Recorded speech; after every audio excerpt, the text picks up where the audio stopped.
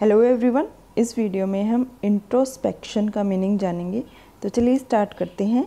Introspection I N T R O S P E C T I O N introspection जब किसी sentence में use होगा तो as a noun use होगा। संज्ञा के तौर पे इसको यूज़ किया जाएगा।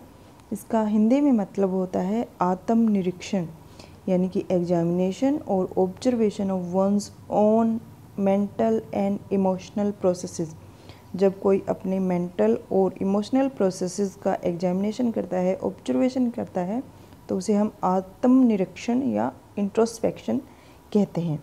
तो सिनोनिम्स क्या होंगे? ब्रूडिंग और rumination antonyms of introspection unthoughtful और एक्सट्रोस्पेक्शन एग्ज़ाम्पल सेंटेंस के साथ इसको समझते हैं।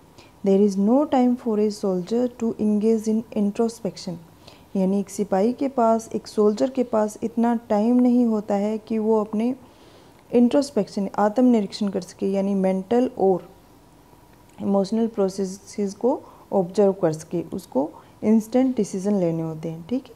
इसके साथ आज की इस वीडियो में बस इतना ही। Thank you for watching